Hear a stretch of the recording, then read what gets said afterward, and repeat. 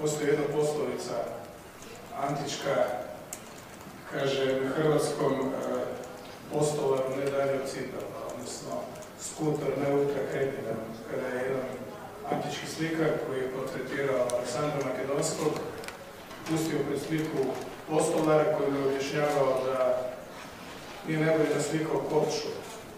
I ovaj prihvatio taj prigovor. Međutim, onda je postolar krenuo govoriti o kosi, o prstima, ja bih rekao skuter ne ultra kretinan. Drži se cipela. Tako se i ja, kada su u pitanju bilateralni odnosi i ovakvi formati, držim toga poslovno na dalje cipela, a kada nisu, izujem se pa hodam na.